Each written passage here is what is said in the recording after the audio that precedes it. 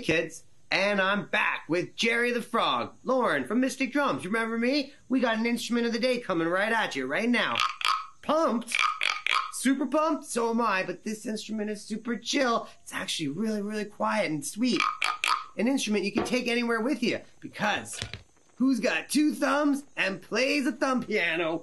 Oh, it's this guy right here. This is a beautiful thumb piano. What's it made on? Looks like a pumpkin, doesn't it? But actually a big gourd or squash. They scooped out the insides, put a nice wood inlay on top, carved a moon and a star, right? We play it with our thumbs. Let's have a listen. Look over here, buddy.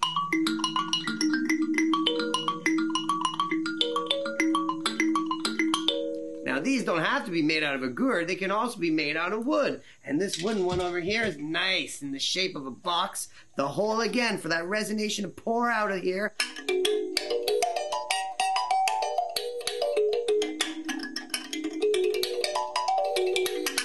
Pretty nice. Hey, wait a second. Jerry, did you invite some friends? I hear some frogs. You didn't? Uh-oh, they're frog crashers. It's your big sister. Terry, what are you doing here? You didn't come for the instrument of the day. You come to hear us play, that's right. It's nap time for the little baby frogs.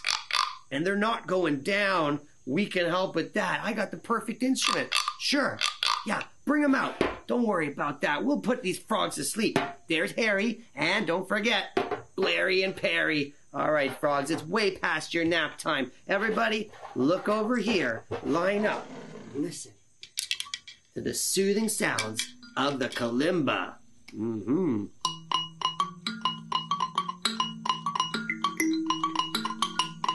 It's working.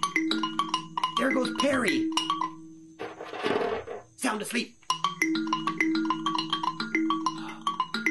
Blairy's out too. Wait a second. You're not supposed to fall asleep, Jerry. there goes Terry. Better put out Harry or we're gonna be taking care of him.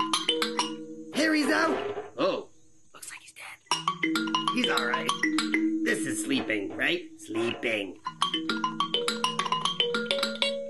We had a lot of fun today putting all the animals to sleep. Don't forget to like and subscribe below. Kapow, Tazooey, kabam bam, boom!